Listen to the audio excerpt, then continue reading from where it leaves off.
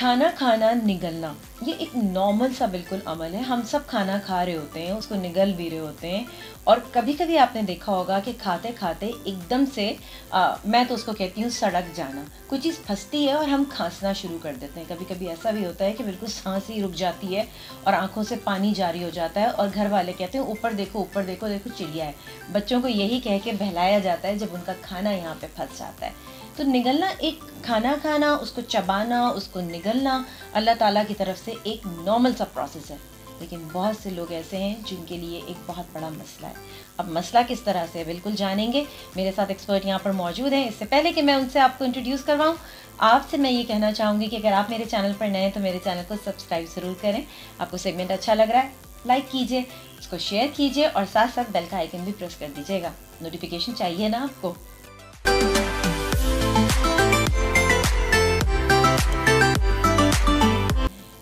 My channel painless TV मेरे साथ यहाँ पर शकील अहमद खान साहब मौजूद हैं वॉइस एंड इमेज कंसल्टेंट और the society of image management से। शकील साहब के बारे में मैं आपको ये भी बता दूँ कि ये स्पीच पैथोलॉजिस्ट भी हैं। तो आप में से किसी को आपके बच्चों को या किसी बड़े को अगर बोलने का कोई मसला है या उसको निगलने का भी कोई मसला है तो आप इनसे बिल्कुल कॉन्टैक्ट कर पाएँगे। किस तरह से कर सकेंगे थोड़ी देर बाद बात करते हैं। अभी हम अपना टॉपिक शुरू करेंगे निगलने के मसाइल।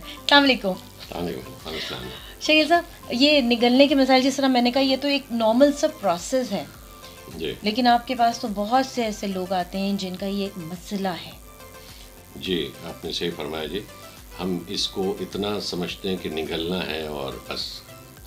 लेकिन आप देखिए कि छोटे बच्चों की कभी डेथ होती है तो वो दूध के चली जाती है दूसरी नाली में यानी कि फेफड़ों में या तो वो उस सांस की नाली में कोई चीज़ जाती नहीं है ना जाना चाहिए। और खांसी या वो जो ठसका लगने के बाद जो एक बाहर आवाज़ निकलती है खांसने से तो वो पानी या बहुत बारीक सा पानी का ज़र्रा या खाने का ज़र्रा फेफड़ों की लाइन में चला जाए उस, उस नाली में तो वो खांस के बाहर निकाल देता है। हम्म। खांसी ब्लेसिंग है अल्लाह ताला की। अगर खांसी ना आए तो फिर कैसे होगा? जो निकलेगा कैसे? तो चुपके से चला जाएगा। जी पता ही नहीं चलेगा। तो इसमें ऐसा भी है वो साइलेंट एस्पिरेशन होता है बास को पता नहीं चलता चला गया। तो बहुत तकलीफ़ हो जाता है लोगों को बार बार निमोनिया हो जाता है क्योंकि पानी फेफड़ों में जाकर रुक रहा है। हम्म। और जहाँ पर वो गैस एक्सचेंज होता है ना जी बाहर से ऑक्सीजन आ रही है कार्बन डाइऑक्साइड को वापस जाना तो गैस चेंज इसलिए नहीं होता कि वहाँ पानी खड़ा हो। तो नमोनिया हो जाता है लोग सांस नहीं ले पाते। अब होता क्या है जी मैं अब सर्च करूँगी जब हम खाना खाते हैं तो हमको सबसे पहले जो हमारा स्टेज है खाने का वो चबाना है जी। और इतना चबाना चाहिए उसको कि वो जो हमारा स्लाइवा है जो लुआब है उससे वो एक बोलस की तरह बन जाए। हम्म। अगर वो नहीं बना तो फिर आधा काम आपने पेट को दे दिया कि अब तुम संभालो। उससे पेट भी खराब हो रहा है। हम्म। तो उसको चबाने से वो फिर एक ऐसी जगह आ जाएगा जहाँ पर अब आप रोक नहीं पाएँगे उसको। तो चबाना और पीछे तक ले जाना आपकी आपकी काबू में है। सही। वॉलेंटियरली लेकिन इन वॉलेंट्री मूवमेंट कब शुरू होती है? जब बिल्कुल चला जाए तो जबान ऊपर आती है नाक की तरफ़ से जो पीछे टकना बंद हो जाता है अब वो बोलस को नीचे ही जाना है। सही। लेकिन बाद बच्चों को आपने देखा होगा कि नाक से खाना निकल आता है या बाद लोग जब वॉमिटिंग तय कर रहे होते हैं उनका निकल आता है तो इसका मतलब है कि वो सही बंद नहीं कर रहा जहाँ से नाक सांस की नाली जा रही है नाक में। अच्छा। तो नाक का भी बंद होना चाहिए और जबान से पीछे वो ये वाला जो हमारा माऊ है तो इसको बंद कर दे वो। अब जो बोलस है जो वो वाला हिस्सा जो अब वो मिलकर एक एक पेस्ट की तरह बन गया है वो पुश होके अंदर ही जाएगा जी। अब जब अंदर जाएगा यहाँ से बहुत एहतियात की ज़रूरत है हमको अब वो अंदर जाने के बाद या तो सांस की नाली में जाए या पेट की नाली में जाए। सही है। जाना उसको पेट की नाली में है तो होता क्या जी अल्लाह ताला ने क्या रखा है जी? आप निकलने के वक्त आप हाथ लगा के देखिएगा कि ये जो हमारा ये थायराइड कार्टलेज है। ये जो हम जिसको हम एडम्स एप्पल कहते हैं ये थोड़ा सा ऊपर जाता है। जब ऊपर जाता है तो जो कॉर्ड्स है हमारे जहाँ से सांस जा रही है वो बंद होके और आगे की तरफ़ आ जाते हैं। और तीसरा एक जो एपिग्लॉटिस है जो मैं कह रहा था पत्ते की तरह शेप होती वो और बंद कर देता है। सही। अब सारा जो खाना जाना है वो पेट की तरफ़ जाता है ठीक है। अच्छा अब पेट की नाली में जाते वक्त ऊपर एक स्फिंक्टर एक ऊपर चीज़ बंद भी हुई भी है। वो बंद रहती है हमेशा। खुली नहीं रहती। और एक मैदे से पहले चीज़ बंद रहती वो भी खुली नहीं रहती। लेकिन अगर इतना खाना खाया या आदत हो गई है एसिडिक खाना खाने की तो लेटते हैं तो वापस आते हैं वो जो हम लोग कहते हैं खाना मुँह में आ रहा है। जी रिगर्जिटेशन हाँ। जिसमें आपका जो एसिड रिफ्लक्स है वो डिज़ीज़ कहलाती जो वापस आता है तेजाबियत। हम्म। अच्छा वो तेजाबियत भी दो किस्म की एक तो आपको पता चलता है एक पता नहीं चलता है।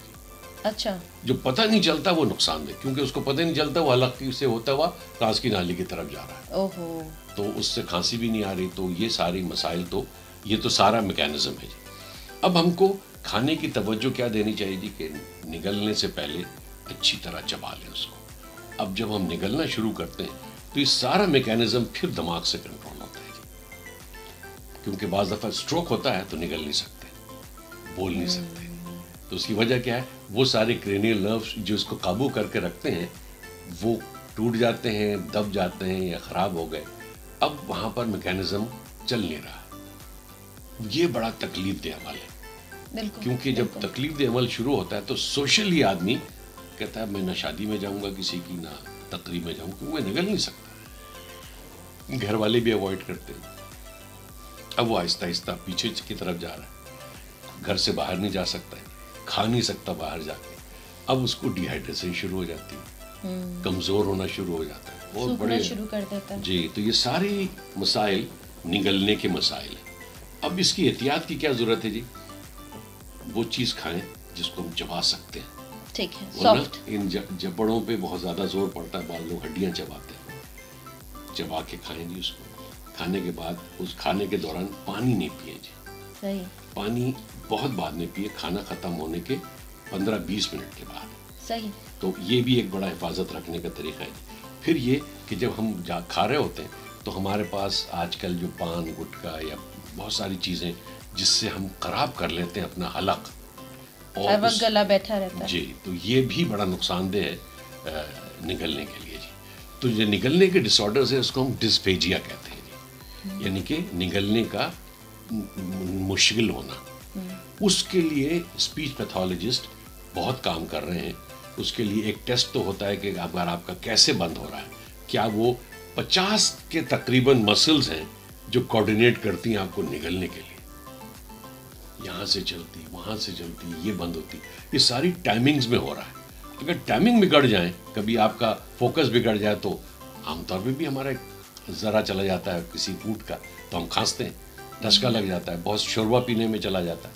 तो ये आम बात है किसी को भी हो सकती है लेकिन बार बार होना ये नुकसान है फिर वो बीमारी में आ रहा है ना कि अगर बार बार हो रहा है। अच्छा मैंने बुज़ुर्गों को बहुत देखा है कि खाते खाते एकदम से ना खांसना शुरू कर देते हैं और वो या तो उनका जहन कहीं मसरूफ़ होता है कहीं और क्योंकि इंसान के दिमाग में जब सोचे भी होती है ना तब भी मैंने देखा है कि खाना अटक जाता है। या वो और अक्सर मुझे याद है कि कभी हमारे साथ ऐसा जब भी होता है तो कहते हैं जहन किधर है तुम्हारा? दिमाग किधर है? खाने पे ध्यान दो। तो ये इस तरह से डांट भी पड़ा करती थी कि जी आप जो है वो खाने पे ध्यान दें आपका दिमाग किधर है? बहुत सारे लोग ऐसे हैं टीवी देख के खाना खा रहे होते हैं। वो यूँ खाना खा रहे हैं ये टीवी चल रहा है बस उसमें अटक गया। जी जी जी। क्योंकि ब्रेन को आपने फंसा दिया ना दो चीज़ों में। जी। अब खाने पे ध्यान देने का फ़ायदा क्या? खाने की लज्जत उसकी खुशबू उसकी रंगत सबसे फ़ायदा उठाते हुए आप खाएँ। तब आपको खाने का मज़ा भी आएगा। अब हम बेमजा खाना इसलिए कर लेते हैं कि जो फास्ट फ़ूड है हमारा वो बस उसमें चटनी हो तेज़ हो वगैरह हो लेकिन वो हम बहुत जुल्म कर रहे हैं अपने हलक के साथ हम्म। अपनी सारी उस मैकेनिज्म के साथ जिससे हम निकलते हैं। बिल्कुल तो एहतियात की बड़ी ज़रूरत है। बिल्कुल सही बात है एहतियात की ज़रूरत है और यहाँ पर एक चीज़ जब शकील साहब बात कर रहे थे और शकील साहब ने कहा जी हड्डियाँ खा रहे होते हैं। तो हड्डियाँ खाने का जिसका काम है उसको करने दीजिए ना उसको खाने दीजिए। आप गोश्त खाइए हड्डियाँ ना खाइए। तो शकील साहब मैं चाहूँगी कि पेज भी बता दें आप। जी आ, हमारा जो इस ताल्लुक़ है इस पूरे गले से बोलने से निगलने से तो सोसाइटी ऑफ़ इमेज मैनेजमेंट हमारा एक इंस्टीट्यूट है। जिसमें हम इस बात की तरबियत देते हैं स्पीच पैथोलॉजिस्ट हमारे साथ प्रैक्टिकल काम करते हैं और हम लोगों को मशवरे भी देते हैं तो अल्लाह ना करे आप लोगों को हो, लेकिन कोई ऐसी बात है तो पूरी ध्यान से अपने इस हलक में तवज्जो दीजिए हम्म।